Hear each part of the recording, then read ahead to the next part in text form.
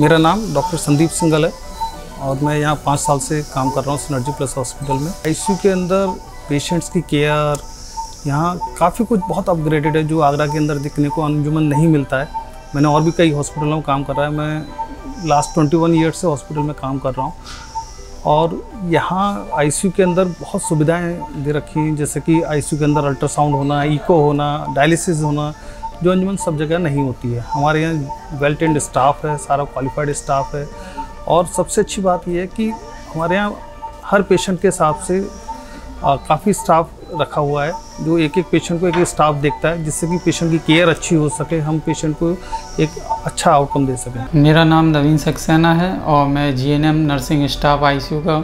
हम जो भी यहाँ पे पेशेंट केयर करते हैं, वो मोबाइटल मॉनिटरिंग हैंड हाइजीन और पेशेंट के रिगार्डिंग जो भी वाइटल और वेंटिलेटर की जो भी सेटिंग होती है, वो सीनियर डॉक्टर के कंसल्ट में होती हैं।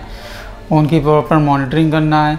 हैंड हाइजीन का प्रॉपर ध्यान रखा जाता है। बेड से बेस्ट केयर की जाती है यहाँ पर? मेरा नाम बबीता यादव है। मैं पिछले सात साल से इस हॉस्पिटल में कार्यरत हूँ नर्सिंग स्टाफ के पद पर। हमारे यहाँ जब पेशेंट फ़र्स्ट ऑफ़ ऑल आता है तो सबसे पहले पेशेंट को पूरा हेड टू टो चेक किया जाता है। पूरे सारे उसके पेशेंट के वाइटल्स चेक किए जाते हैं। इमरजेंसी सेवा में अगर पेशेंट को कोई भी दिक्कत होती है तो तुरंत पेशेंट चेक करने के बाद में इंटूवेशन की कंडीशन होती है तो वो भी करना पड़ता है। और पूरा ट्रीटमेंट दिया जाता है ताकि पेशेंट हमारा सेफ़ साइड निकल सके।